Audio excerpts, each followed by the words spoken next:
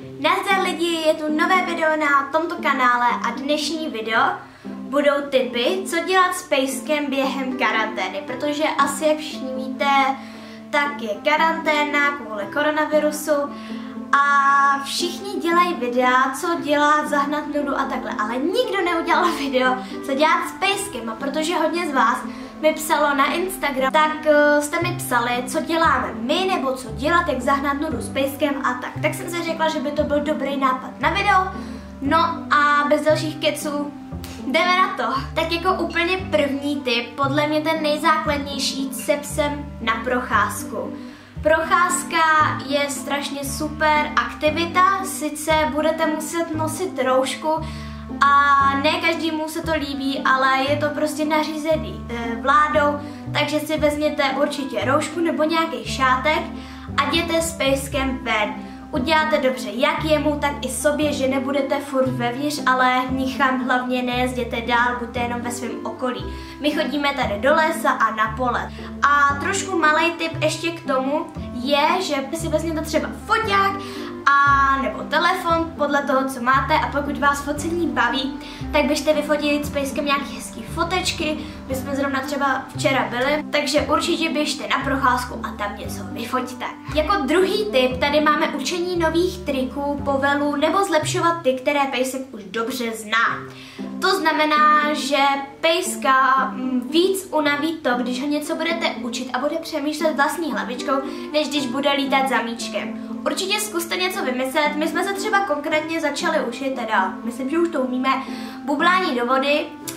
A zase to docela díl trvalo, takže určitě takhle zaměstnáte dobře hlavičku pejska, a nebo zdokonalujte, pokud máte úžasného pejska, ale podle mě žádný pejsek neumí všechno na 100%, tak zdokonalujte povelik, určitě se věnujte trikům. Sice ne všechny jdou úplně dělat doma jako nějaký odraz, ale myslím, že takový otočky, poklona, plazení a takhle se dají udělat v klidu doma. Nebo taky třeba slalom mezi nohama.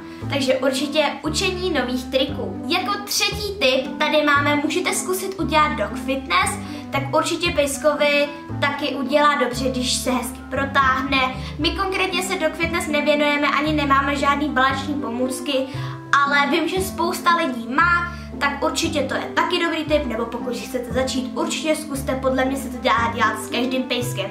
Takže protáhněte ho, začněte s ním pomalu hezky, ať se hezky procvičí a můžete zkusit dog fitness na valenčních pomůckách.